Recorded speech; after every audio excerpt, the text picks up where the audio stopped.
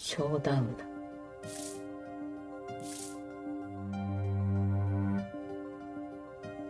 負けたか。この私が。たかがポーカーですよ。長い間このゲームをしているが、私が負けたのはこれで二人目だ。一人目は私が殺した男だよ。もちろんね。どうやら私が本当に必要としているパートナーを見つけたようだ。こんなゲームでですか？そうだ、こんなゲームでだ。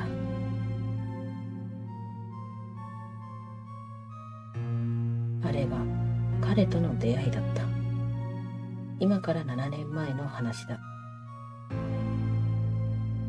7年前、なるほど隆一、最後の法廷。4月19日午前9時27分、地方裁判所被告人第二控室。え？え、なんかいつもと違うぞ、この感じ。いつもあそこ裁判長の絵みたいな飾ってたじゃん。やれやれ。久しぶりに新人みたいな気分だ。おやおや。久々のなるほどくん？久々って言うとあんまり私実況でなるほどくんプレイはしてないんだけど、個人的には超感慨深いね。この驚き宝介の話の中で入ってくるなるほど主人公は、やけに緊張するな。あ、おはようございます、七節さん。七節え、でも多分見抜きパパでしょ、これ。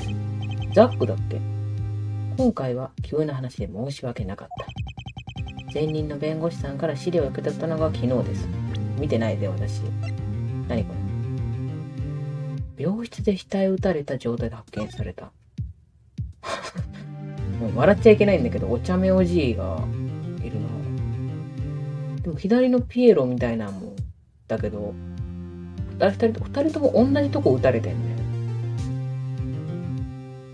で、銃と、あれ、言ってたやつじゃん。なんか前回ね、30分ほどで終わった実況があるんだけど その中で言ってた手記のことなんじゃないか、あるまじき天才の解剖記録。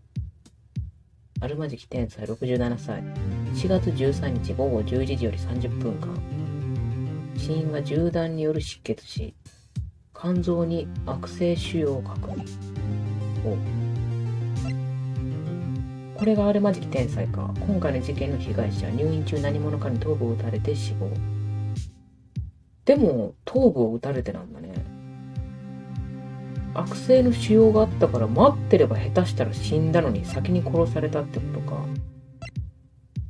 そうだよね。ザックとそれこそバランの師匠だもんね。アルバズキ天才は。七節影郎。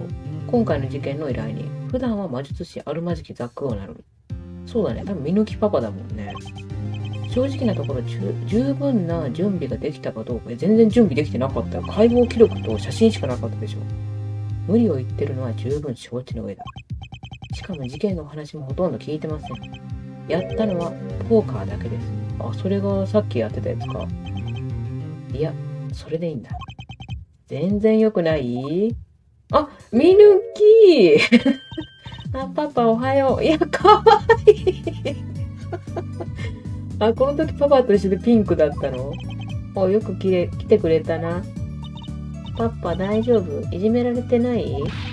はははは、もちろん大丈夫さ。今日はね、このおじちゃんがパパを助けてくれるからね。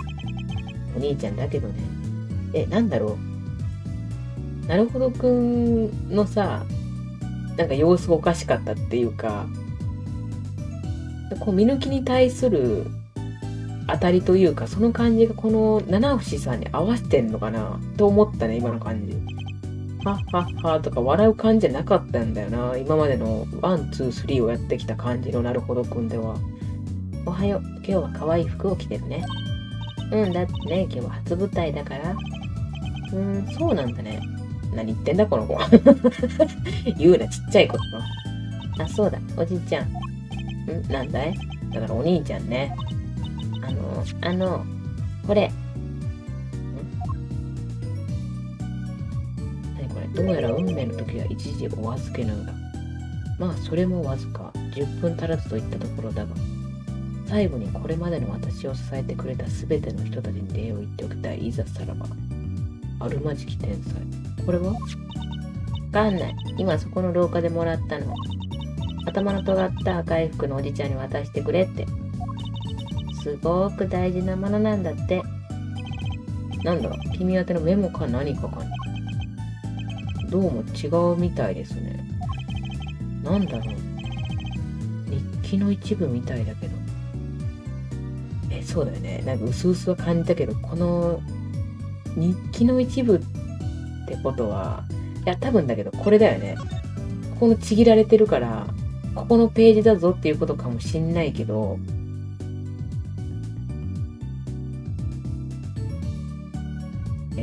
捏造の証拠品ってこれかもしかして。えだって別に多分このザックも知らないしなるほどくんも知らないんでしょ。後で読んでおきます。海底直前入手した正体不明の紙切り。怖い BGM も途切れてんの。怖い。それでどうかね。今日の法廷は。なんとかやってみますよ。そういえば新人らしいです。今日の検事はあいつだろ。多分ガリュウ検事だろ。おそれなら楽勝というやつかな。検事局始まって以来のサラブレッドと聞いてます。三剣より。まあ毎年そんなのが一人は出てくるんですけどね。改定直前の弁護士交代。君にとって不利なのはよく承知している。だがこれだけは言っておこう。なるほどくん何ですか？今日彼らはこの私に有罪判決を下すことはできない。だから安心して弁護を頼むよ。被告人から力づけられるのは初めてだな。そうだね。いつも負けるかもみたいな人しかいなかったもんええ全力を尽くします。はっはっはっは。分かっていないようだね。私に判決を下すのは不可能なのだよ。不可能？なあそうだぞ。見抜き。うんそうだよねパパ。いやほんとこいつ可愛いんだけど。資料を受け取ったのが昨日。情報も十分とは言えないけど。やってみるしかないな。この親子のために。さそろそろステージの幕が開くようだ。よろしく頼むよ。えでもこのお父さんはいなくなってんだよね結局。依頼人の名前は七節影郎世間ではあるまじきザックとして知られている。あるまじき一団の誇る人気超絶頂のマジシャンだ。容疑は殺人罪。天才を殺したかどうかってことか。彼の師匠劇場の舞台に奇跡の黄金時代を復活させた。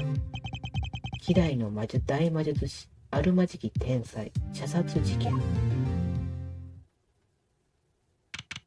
同日午前10時地方裁判所第7法廷。えー、なんかでも、うん、サラブレッドか、うん、サラブレッドいやいやでも大丈夫です成歩堂龍一大丈夫ですそれではこれより奈々伏影郎の法廷を開廷しますこいつ全然変わんねえな弁護側は準備完了しております。いやー、なるほどくんとここに立ってるの感慨深い。お調子に乗ってるサラブレッド。検察側どうかしましたから緊張しているのかな。いやー、こんなものかって思ってさ。ちょっとがっかりしてたとこ。いや、生意気、クソ生意気。こんなもの。裁判って言うからもっとこう、ハートにビリビリくるかと思ってたのにさ。これならバリューウェーブのギグの方がよっぽどスリリングだね。あの、あなたは心象悪いですよ、裁判長への。ガリュー京也。法廷を厚くするために来た男だよ。うぜえ。え、なんかの、なんだろう。うん、なんか若い時の方がうぜえな、あいつ。あなたがあの、ガリュー、キリヒト弁護士の、あ、そっか。そこは知ってんのか、も。やれやれ、こっちの世界じゃ兄貴の方が有名か。ガリュウ京也か。デビューと同時に大ブレイクを果たした超人気ロックバンド。ガリュウウェーブのボーカル。間違いな、坊やだな。クソ坊やだぜ。でも、なるほどくん知ってたんだよね。ガリュウウェーブ知らなそうなのに。間違いな、坊や。大方そんな風に思ってるんだろ。あと、うぜえと思ってるよ。デビュー曲「恋の金庫系13年」がいきなりミリオンセラー言ってた重いなって言ってたんだよ 金庫系重って言ってたんだけど。そっちが遊びなんだ。僕にとっては。よく喋る検事さんだ。いずれわかるよ。なるほど、弁護士さん。うるさい。それではまず事件の説明をお願いしましょう。OK。じゃあ前座を呼んでみようか。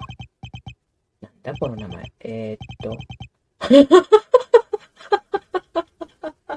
出んのかよ。糸のこぎり刑事を頼むよ。いやもう、あいつに会えんの。出てくるんだっけ、4に。もう大人気キャラ、糸のこぎりじゃないですか。で、誰？君。そういう聞き方されたのは初めてっす。自分は糸のこぎり圭介っす。いや、みんな大好きだもんね。こなんかちっちゃいね、糸のこぎり刑事。所轄署の殺人事件の捜査を担当する刑事っす。いや、ぜひね、逆転裁判1、2、3、ぜひやってほしいんですけど、大活躍しますから、この糸のこぎり刑事に関しては。糸のこ刑事か。久しぶりだな。あんたはい、僕ですか。今日という今日は自分、あんたに勝つっす。今日の証言ある種自信ありっすいや、お前毎回それ言ってんだよ。で、全部ダメなんだよ。普段の証言自信なしなのか。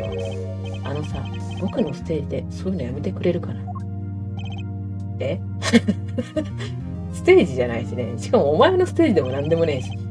そういう暑苦しいの嫌いなんだ。君たちの人間なんて知ったことじゃないし。うーん。ね、三剣健そんなこと言わないのにね、なんだかんだ甘やかしてくれるのに。それでは、糸の小切刑事、今回の事件について説明お願いしましょう。事件は6日ほど前、総合病院の病室で起こったす。うん。事実関係は至ってシンプルっす。こちらが現場の様子っす。病室に入院中の被害者が寝ていたっす。いや、スッススッス言って、そこへ犯人がやってきて、ピストルで額の真ん中を一発。それだけっす。それだけ、それだけじゃない気がすんだよな。いろんな情報詰め込まれてんや、この写真に。うん。被害者のあるまじき天才といえば、一昔前。そうだよね。この亀立ってるやつね。まさに日本人を夢中にさせてくれたものです。大魔術師だったそうだね。とっくに引退しちまったから、僕たちの世代にはあまりピンとこない名前だけど、今の若い人たちにはあるまじき天才よりも、その弟子たちあるまじき一座の方がピンとくるのでしょうな。なるほど。とにかく引退した天才はここ一年入院していたっす。なんというか、えっと、か、か、肝臓に転移した、その、あ悪性腫瘍に、えー、っと、なんとか編まれて、蝕まれてでしょう。味村と同等の知能を持っている糸のこぎり刑事。悪性腫瘍。つまり癌だね。わかりやすく言えば。あ、そうなのどうやら余命3ヶ月といったところだったらしいけど、最近そういう話題ばっかりだな、癌とか。天才のカルテデータを法定記録にファイル。うん。ちょっとカルテ見てきていいですか？話し続けてもらっていいんで。余命3ヶ月と診断。最終ステージに入っており絶望的。カルテにこんなこと書くの？絶望的とか。なお、重度の糖尿病であるため、インシュリンの定期投与の必要あり。いっぱい持ってんなし、天才。大変かよ。確かに事実関係はシンプルかもしれませんが、なんとなくすっきりしませんな。ほんの3ヶ月ほど待っていれば、被害者は天に召される運命だった。なぜそれを待たず、射殺したのか。いや、そうなんだよね。別、ね、急ぎのようだったってこと？そうなんだろうな。こういう言い方もあれだけど、わざわざ撃つ必要はなかったのでは。うん。って思っちゃうよね。あと3ヶ月すれば病気で死ぬんでしょわざわざもし見つかったら自分が罪に問われるのに、射殺される必要があるかどうかってことよね。ちなみに被害者は重度の糖尿病でもあったらしいです。糖尿病。被害者が自分でインシュリンの注射を打とうとしていた時、あ、自分で打つんですか？ピストルで撃たれたようだ。現場に注射器が残されていた。重度の糖尿病、そしてがん。被害者は残念ながら人生の最後を迎えていたことは間違いないみたいだね。うん。自分で打つんだ、こういうの。洗浄済みで使用された形跡はない。まあ、打とうとしてたところって言ってたもんな。かん。うん、すると問題はやはり、なぜそんな老人を打たなければならなかったのか。その理由ですな。では、刑事君、その辺の事情、証言を頼むよ。はあまあ、大体、どの子刑事の証言なんてね、穴だらけなので多分大丈夫だと思うけど、殺害の事情。実はある種被告人は被害者に命令されたとも言えるっす。事件の数日前、被害者本人から殺害を命じる手紙が届いたっす。おその指示に従って被告人は被害者の額を撃ったす。被告人がザックってことだよね。弾丸は現場のピストルから撃たれたものに間違いないっす。ピストルが彼のものであることは誰が見てもはっきりしてるっす。誰が見てもとか説明してからちゃんと言え。なんですって。被害者に命令されてピストルを撃った。事実、その通りだからね。これがその手紙なんだけど。おう。親愛なる我が弟子ザックへ。お前に人生の幕引きを命ずるって書いて見せな。ザックに対して自分を撃つように指示した手紙。なんとも異常な内容ですな。その内容を見せてみなって言ってんの。お前に人生の幕引きを命ずる。13日の午後11時5分。銃は用意しておく。額の真ん中を打ち抜くように1ミリの狂いも許さぬ。これは命令だ。お前には決して断れない理由がある。お互い分かっているはずだ。あるまじき天才。13日午後11時5分。な、な、なんで5分ずらしたんだろう気になるわ。額の真ん中を打ち抜くように1ミリの空。うん。確かに異常ではあるよな。こんな簡単な手紙で人は引き金を引くものでしょうか。答えは手紙の最後の部分に書かれているね。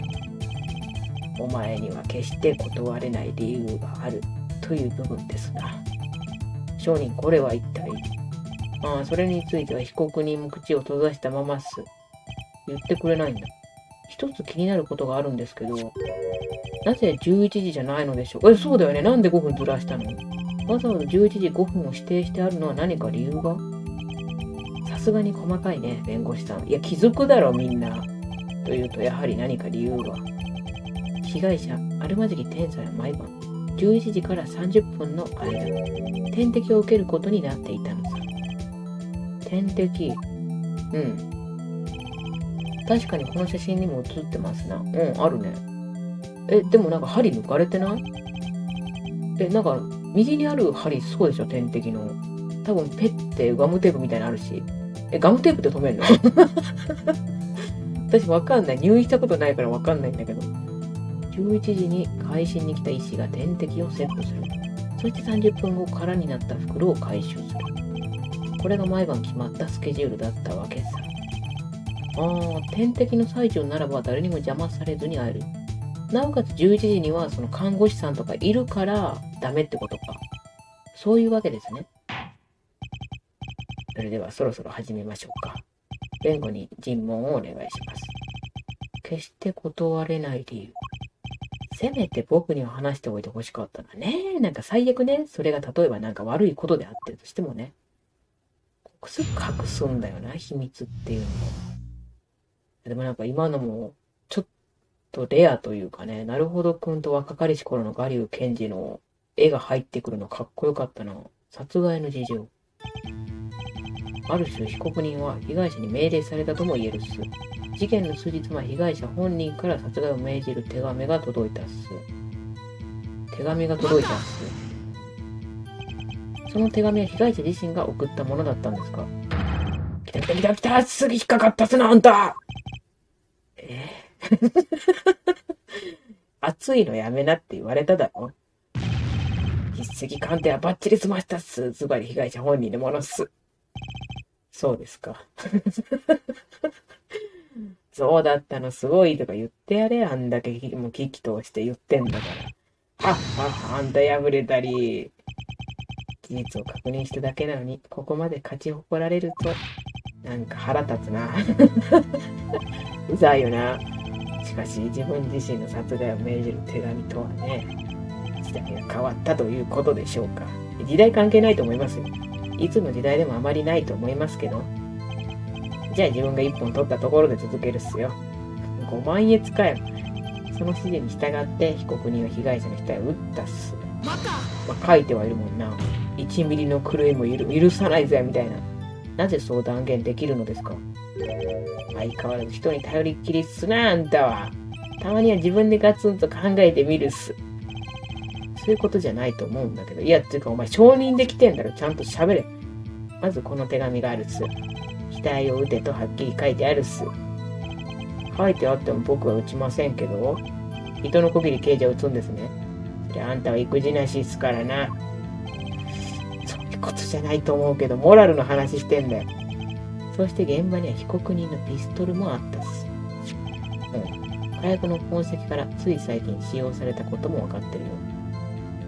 被告人のってことは、え、じゃあザックのなんだこれ。いかがですか、弁護人。いや、でも置いてくか、普通自分が撃ったやつ。この写真を見る限り、検察側の推論に問題はないようですが。この写真、どっかに反証の鍵はないのか？被告人が被害者の額を撃った。検察側の主張に風穴を開けるんだ。でも他のものを撃ったでしょ、どう考えても。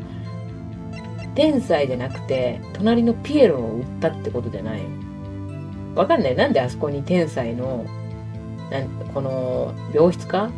病室にあれが置いてあるのかわかんない。あれと一緒に寝ないと落ち着かないタイプなのかもしれないけど。お茶目な部分。あの子と一緒に寝ないと僕は一緒に寝れるのじゃっていうタイプかもしれない。他のものを撃ったんだよ。この写真を見る限り、ある可能性が考えられます。可能性。あくまでもこの手紙によれば、被告人には断ることのできない理由があったようです。その通りっす。だから被告人は被害者の額を撃つしかなかったっす。それはどうでしょうか？弁護側の主張は違います。被告人にはもう、他にもう一つ選べる道があって。うるせえ。あ、もうそれは変わんないの若い頃から癖づいちゃってんのね。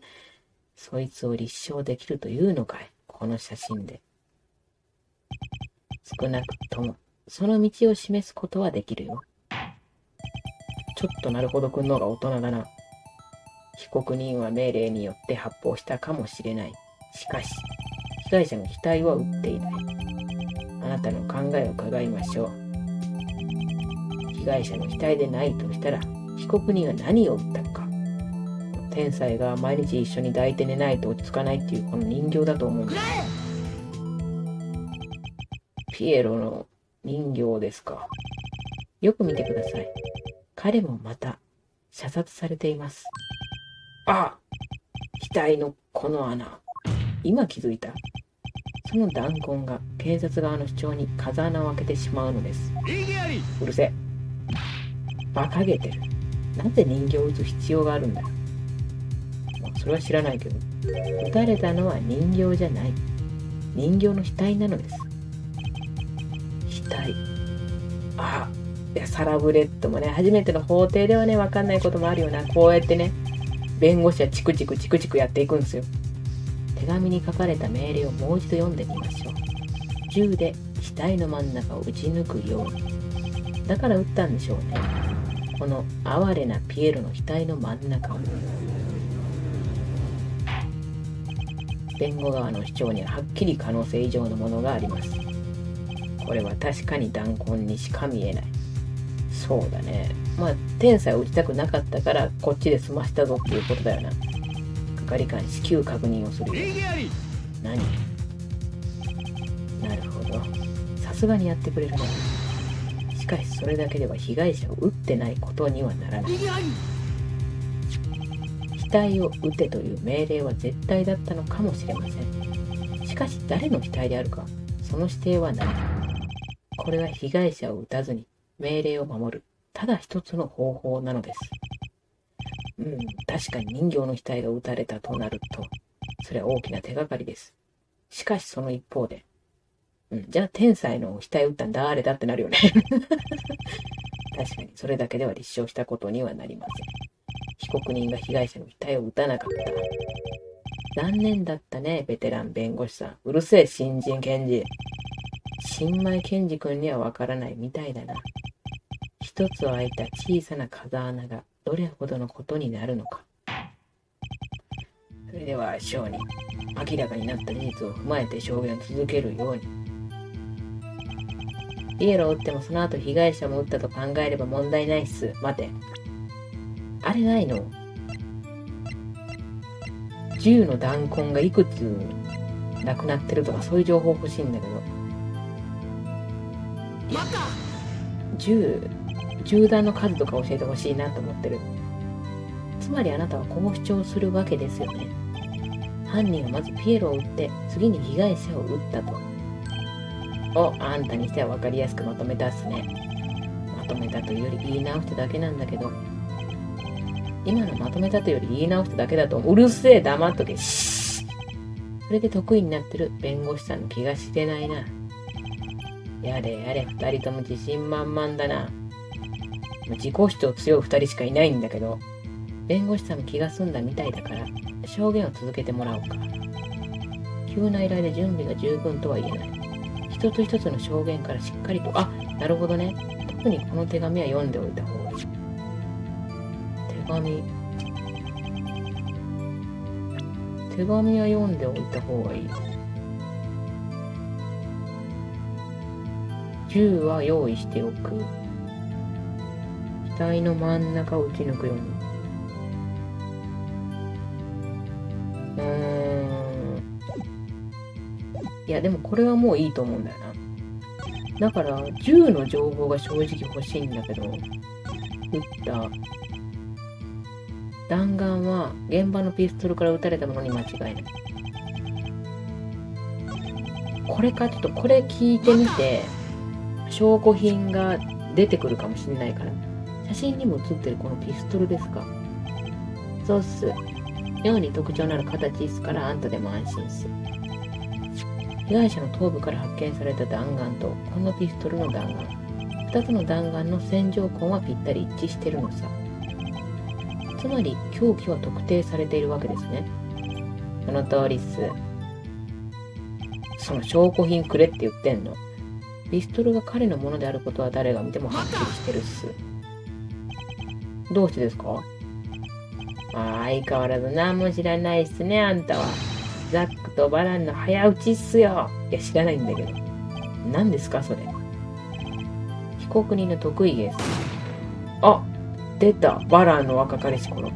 真ん中に女の子を挟んで、ザックとバランが打ち合う。別に挟まなくてよくない ちょ、やめなよ、そういうことするの。すると不思議。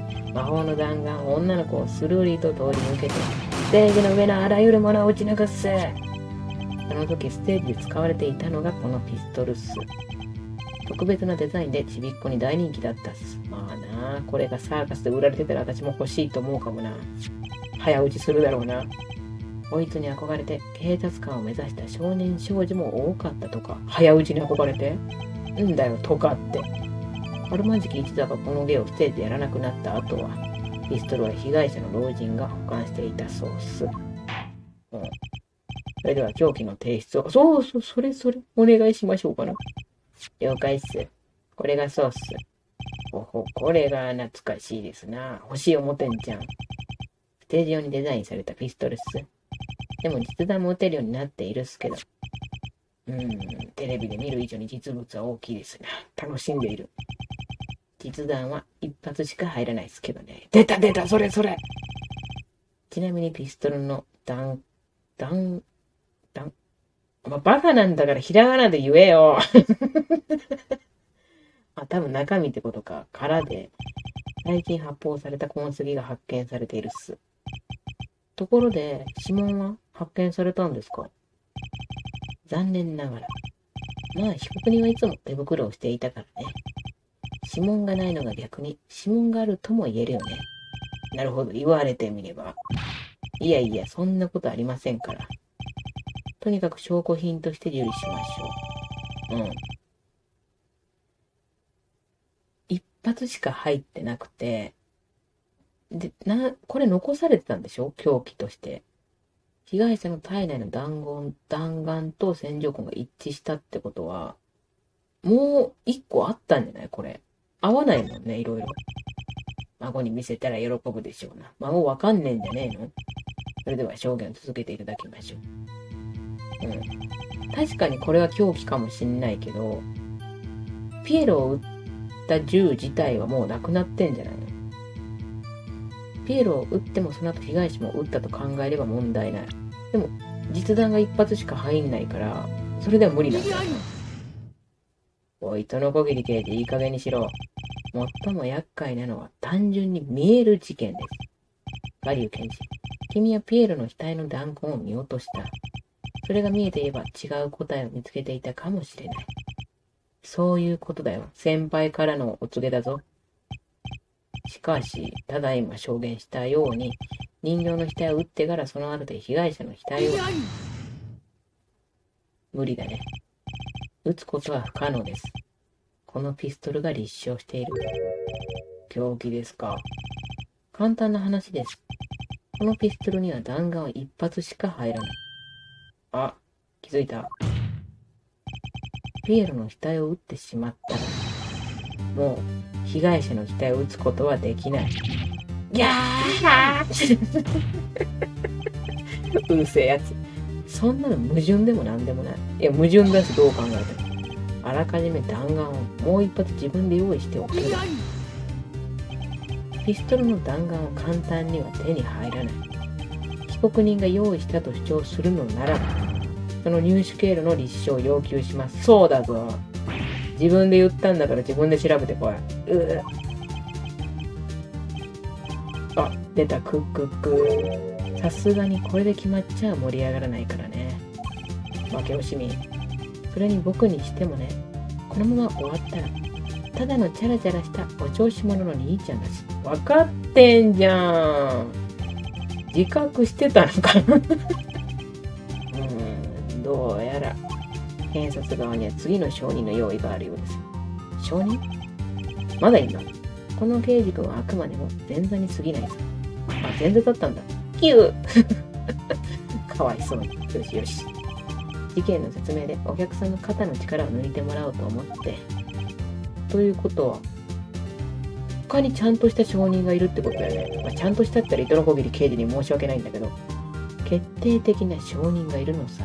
もちろん。被害者の額を撃ったのは、あるまじきザックである。被告人以外、ありえないことを立証する証人がね。ほう。目撃者ってこと？いいでしょう。ここで一度15分の休憩を取りましょう。こまめな休憩。助かったかな？この時間で依頼人、ザックさんの話を聞こう。それではこれより休憩に入ります。はーい。最近続く早くない？ね続く早くない？まだ30分そこらしかやってないよ 怒られるってそろそろ。いや、わかんない。みんなこのぐらいのね、動画ペースがいいのかもしれないけど、どうしようかな